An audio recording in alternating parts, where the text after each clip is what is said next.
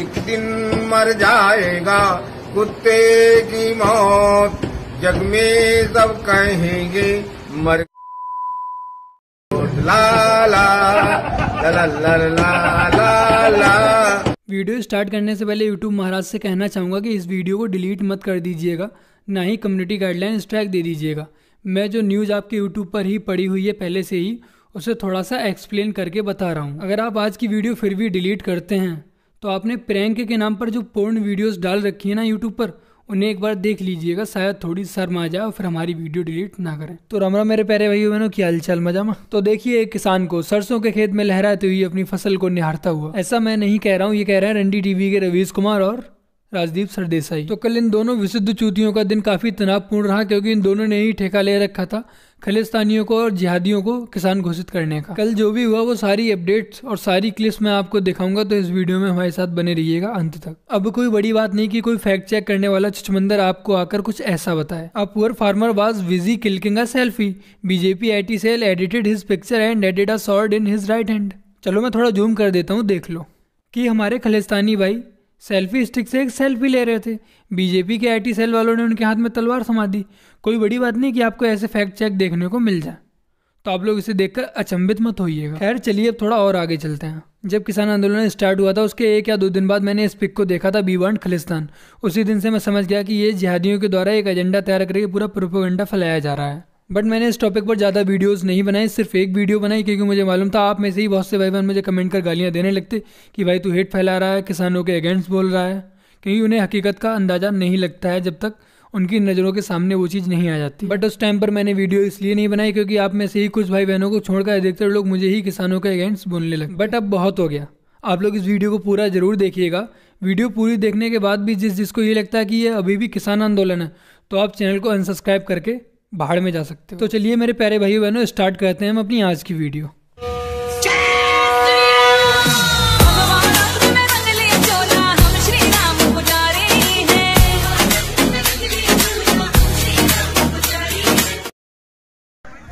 Tractor ਜਿਹੜਾ ਦੇਖ ਸਕਦੇ ਹੋ ਤੁਸੀਂ ਪਲਟ ਗਿਆ ਹੈ ਤੇ ਇੱਕ ਆਦਮੀ ਦੀ ਜਿਹੜੀ ਕਿਸਾਨ ਦੀ ਮੌਤ ਹੋ ਗਈ ਹੈ ਆ ਦੇਖ ਸਕਦੇ ਹੋ ਟਰੈਕਟਰ ਜਿਹੜਾ ਪਲਟਿਆ ਹੋਇਆ ਪੂਰੀ ਤਰ੍ਹਾਂ ਤੇ ਕਿਸਾਨ ਦੀ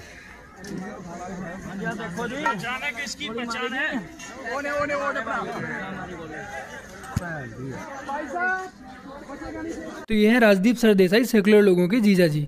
इनका काम है फेक न्यूज़ फैलाना। खैर इन्होंने कल पूरे दिन यही किया इसके अलावा और कुछ कर भी नहीं सकते थे। चलिए मान लिया कि गलती से आपने कोई न्यूज़ गलत बता दी बट आपके सामने फैक्ट है आपके सामने जीती जागती वीडियो है जिसमें कि ट्रैक्टर पलटा उसके बाद बंदे की मृत्यु हुई है बट ये फिर भी गलत न्यूज़ फैला रहे हैं। तो आप दो कौड़ी के पत्रकार से भी ज़्यादा गिरे हुए पत्रकार हैं।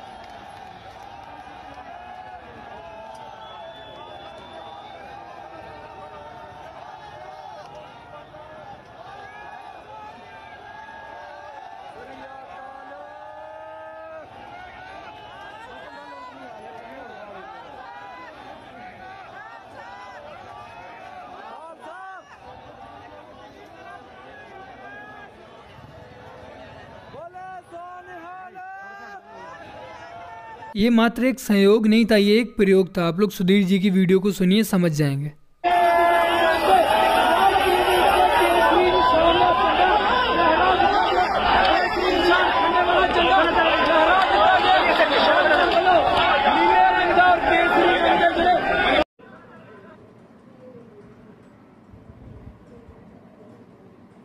तो जो खालिस्तान समर्थक संगठन है, उन्होंने खुद ही खुलकर यह कहना शुरू कर दिया। देखिए, मेरे हाथ में जो है S F J calls for Kesari march, Singhu border to Rajpath 26 जनवरी, जो हमारे गणतंत्र दिवस है जिस दिन to condemn India's constitution and anti farm laws तो यहाँ आप समझ सकते हैं, और एस एफ़ जे जो यहाँ लिखा हुआ है एस एफ़ जे ये क्या एसएफजे है? ये भी आप देख लीजिए। ये है सिक्स फॉर जस्टिस नाम की संस्था। मेरे पास जो चिट्ठी है उनकी एक में न्यूयॉर्क का पता लिखा हुआ है यहाँ पर, और एक में वॉशिंगटन डीसी का पता यहाँ पर लिखा हुआ है, और साफ़ साफ़ लिखा है कि हम ढाई लाख यूएस डॉलर्स का इनाम उस व्यक्ति को देंगे जो खालिस्तान का झंडा इंडिया गेट पर फहराएगा गणतंत्र दिवस की परेड के दौरान। और आज उन्होंने जो चिट्ठी लिखी है, जस्टिस एस ए बोबडे, जो चीफ जस्टिस ऑफ़ इंडिया हैं आशा करता हूँ कि आप लोग समझ गए होंगे वो फ्लैग वहाँ पर क्यों फहराया गया। अभी कुछ महल लोगों ने अपना ये तर्क दिया कि वो खालिस्तानी फ्लैग नहीं था, वो जो सिक्कों का फ्लैग होता है, वो वाला फ्लैग था। चलिए हम आपकी बात मान लेते हैं। तो आप हमें ये बताइए कि आपको किसने अनुमति दी कि आप तिरंगे को वहाँ से फेंक कर अपना ये वाला फ्लैग लगाएँ? और दूसरी बात आप गूगल पे सर्च कर लीजिए खिलिस्तानी फ्लैग आपको खुद ही पता लग जाएगा कि वो कौन सा फ्लैग था। नमस्कार देश आज बहत्तरवा गणतंत्र दिवस मना रहा है। राजपथ पर देश की सैन्य और सांस्कृतिक शक्ति का प्रदर्शन हुआ लेकिन आज सबकी नज़र किसान परेड पर भी थी। बड़ी मशक्कत। पुलिस से कई दौर की बातचीत के बाद किसानों को परेड निकालने की इजाज़त मिली थी। इनके अकॉर्डिंग खलिस्तानी किसानों ने बहुत ही ज़्यादा रिक्वेस्ट की थी विनती की थी कि हमें आज्ञा दे दीजिए। हम परेड निकाल लें। वो बहुत ही ज़्यादा मासूम और सीधे साधे थे। खैर अब आगे सुनते हैं। दिल्ली के कई इलाकों में किसान बड़ी संख्या में घुस आए। आईटीओ में इनके घुसते ही पुलिस को लाठीचार्ज और आँसू गैस का प्रयोग करना पड़ा। फिर किसानों का बड़ा जत्था लाल किले में पहुँच गया। तिरंगे के साथ अपना झंडा भी फहरा दिया। अपनी शक्ति का प्रदर्शन किया। आप इनके बोलने के तरीके से और इनके जो शब्द हैं उनके चैन से समझ सकते हैं। कि खालिस्तानियों ने अपना झंडा वहाँ फहरा दिया अपना शक्ति प्रदर्शन किया। इनके अकॉर्डिंग ये सब बहुत ही अच्छे से शांति प्रिय तरीके से हो गया। लेकिन ये परेड बेलगाम हो गई। अब खबर है कि धीरे धीरे किसान अब वापस लौट रहे हैं। यहाँ पर बात थोड़ी सी समझ में नहीं आई। सरकार ने बिल्कुल परमानेंट वापस तो लिया नहीं है तो अब किसान वापस क्यों लौट रहे हैं? क्या उनका मकसद सिर्फ़ इतना ही था दंगे करना? या वो सच में बिल वापस करवाने आए थे? जब आंदोलन की शुरुआत हुई तब किसानों ने कहा था कि हमें बिल में संशोधन चाहिए। सरकार ने कहा, ठीक है, हम संशोधन के लिए तैयार हैं। किसानों ने कहा कि हमें एमएसपी लिखित में चाहिए। सरकार ने कहा, ठीक है, हम एमएसपी लिखित में देने के लिए तैयार हैं। अब खलिस्तानियों ने सोचा कि अब हम क्या करें? हमें तो दंगे करने ही हैं। फिर उन्होंने कहा, ना भैया, हमें बिल नहीं चाहिए। बिल ही वापस कर लो।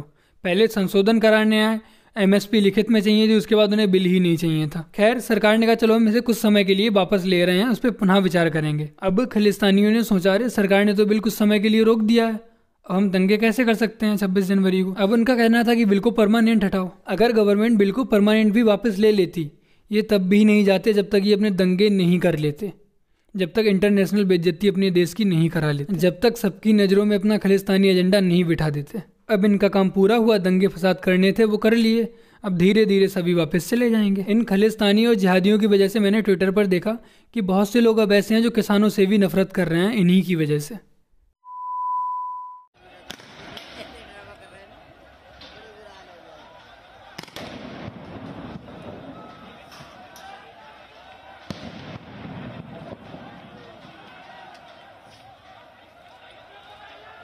पकड़ लिया उनको पकड़ लिया पकड़ लिया एक को पकड़ लिया भाई ये बुरा हाल हो गया रे एक तो पकड़ लिया एक पकड़ा गया वो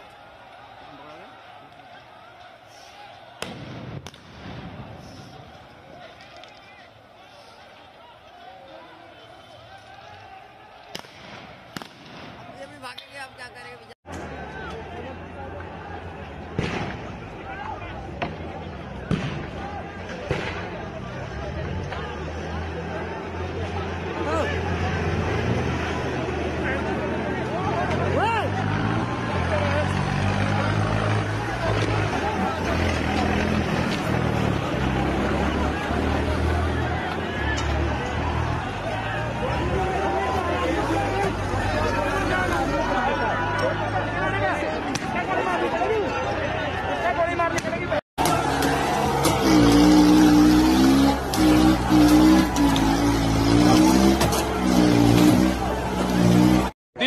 खबरदार जो ट्रैक्टर को रोक्या उसका इलाज भर देगा जो ट्रैक्टर को रोकेगा। उसके बक्कल तार दिए जाएँगे ट्रैक्टर को रोका किसी ने? कौन रोकेगा ट्रैक्टर को? कोई रोका ट्रैक्टर? ट्रैक्टर रोकेगा। कर रहे आप बकवास लग रहे थोड़े दिन सब्र रखो, तुम्हारे भी बक्कल उतरेंगे। जैसे सीए और एनआरसी का जब विरोध हुआ था शाहीन बाग में, उसके बाद उन सबके बक्कल उतार दिए गए ना, ऐसे ही तुम्हारे भी उतरेंगे। थोड़ा ठंड रखो।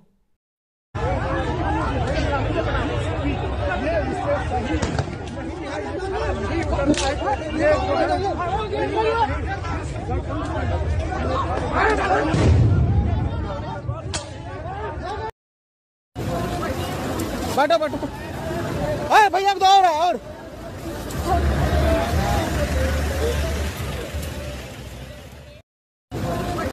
यार, आप खुद बताओ, क्या ये किसान हो सकते हैं? जो हमारे तिरंगे को छोटे छोटे बच्चों से छीन कर उन्हें फाड़ कर फेंक रहे हैं। मेरा विरोध किसान भाइयों से बिल्कुल भी नहीं है। मेरा विरोध सिर्फ़ और सिर्फ़ इन खलिस्तानियों से और जहादियों से ही है।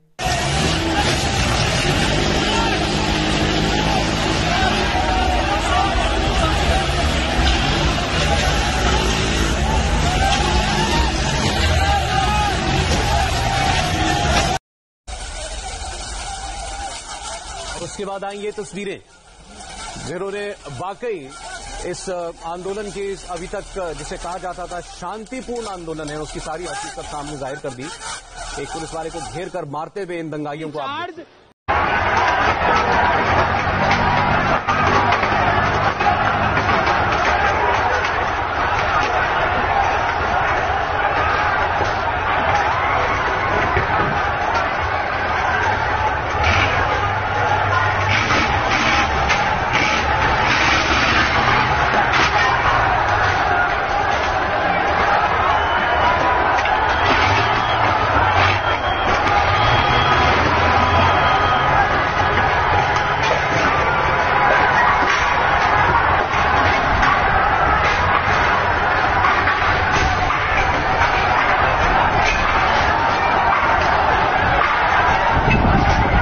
जाते जाते एक बात आप लोगों को और बता देता हूँ। ये सोनाक्षी सिन्हा से पूछा गया था कि हनुमान जी, संजीवनी बूटी किसके लिए लाए थे?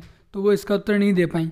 ऐसे ही एक महान आत्मा आई हैं, शिल्पा सेट्टी जिन्हें यही नहीं मालूम है कि 26 जनवरी को गणतंत्र दिवस होता है या स्वतंत्रता दिवस। जिन्होंने अपना ये ट्वीट किया, फिर अपनी फजीहत कराई, उसके बाद इस ट्वीट को डिलीट करके दोबारा से नया ट्वीट किया। तो बस कुल मिलाकर इतना ही कहना है, इस बॉलीवुड का पूरी तरह से बैकआउट करो।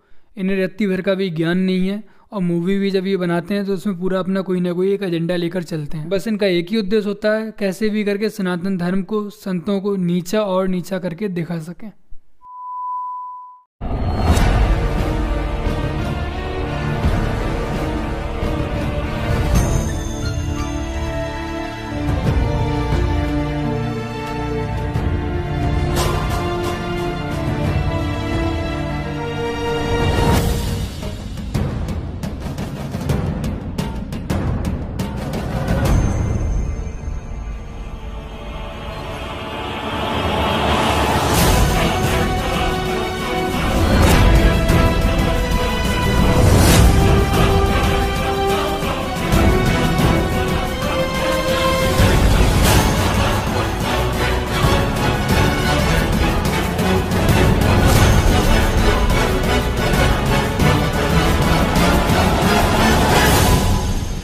तो बस कुल मिलाकर आप सबसे यही कहना है, कुछ वामपंथियों की, कुछ जिहादियों की ये चाल है कि हमारी और सिख भाइयों की आपस में लड़ाई हो जाए, उनमें आपस में बैर हो जाए।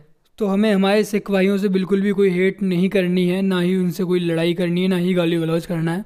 वो भी हमारे भाई ही हैं, कुछ गिने चुने खलिस्तानी लोग हैं, जो ये चाहते हैं कि हम लोग आपस में लड़ें। अब वैसे ज़्यादातर जिहादी लोग ही पगड़ी बाँध कर वहाँ पर बैठे हुए हैं। और बाकी आप लोग मुझसे ज़्यादा समझदार हैं। और जाते जाते मैं एक बात क्लियर करना चाहूँगा, मेरे जितने भी किसान भाई हैं, मैं उनके विरोध में बिल्कुल भी नहीं हूँ। आप इस बिल का विरोध कीजिए, आप एक स्वतंत्र देश में रह रहे हैं, आपको बिल अच्छा नहीं लगा, बिल्कुल विरोध कीजिए। मैं आपके सपोर्ट में हूँ। मेरा विरोध सिर्फ़ इन खलिस्तानियों से, इन जिहादियों से, इन टुकड़े टुकड़े गैंग से है। बाकी का वीडियो को पूरा देखने के लिए आप सभी का तय दिल से बहुत बहुत धन्यवाद। हो सके तो इस वीडियो को ज़्यादा से ज़्यादा शेयर कीजिएगा, जिससे ज़्यादा से ज़्यादा लोग अवेयर हो पाएँ। और जो भाई बहन हमारे इस चैनल पर नए आए हैं तो प्लीज़ चैनल को सब्सक्राइब ज़रूर कर लीजिएगा। साथ में बेल आइकन को दबाना मत भूलिएगा, उसे आल पे ज़रूर सेलेक्ट कर लीजिएगा। और वीडियो को लाइक शेयर और कमेंट करना मत भूलिएगा, जिससे कि अपनी वीडियो की रीच बनी रहे। चलिए, मिलते हैं एक और नई वीडियो के साथ। तब तक के लिए जय हिंद, वंदे मातरम, जय श्री राम। आप लिख सकते हैं तो लिखिए। अगर बोल सकते हैं तो बोलिए। और चिल्ला सकते हैं तो चिल्लाइए। और अगर इन तीनों कामों को भी नहीं कर सकते तो जो चिल्ला रहा है उसके साथ खड़े हो जाइए।